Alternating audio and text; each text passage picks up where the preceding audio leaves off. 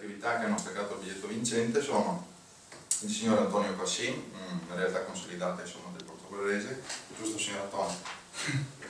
la signora Luigina Ruffino del negozio Twill Abbigliamento e vincono la signora signorina eh, Deborah, Deborah Gobesso, il signor Lucio Bravini, terzo premio. Il secondo premio invece è stato staccato dalla signora, è stato, o meglio, estratto per la signora Laura Pestrin.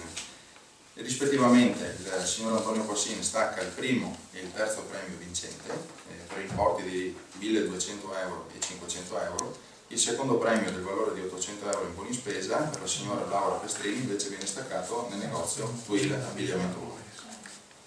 Piangersi un po' addosso dal vittimismo ci sia invece comunque un intanto segnale di buona volontà, come dicevo prima, da parte degli operatori del commercio,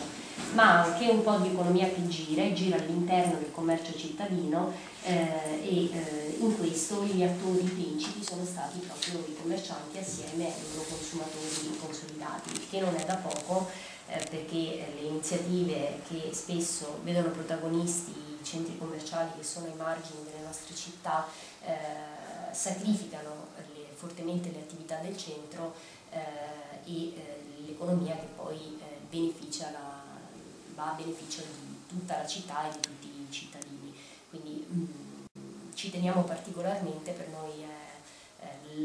spero la, la, prima di una serie di iniziative che faremo a favore della, del centro storico di Porto Duaro e dei comuni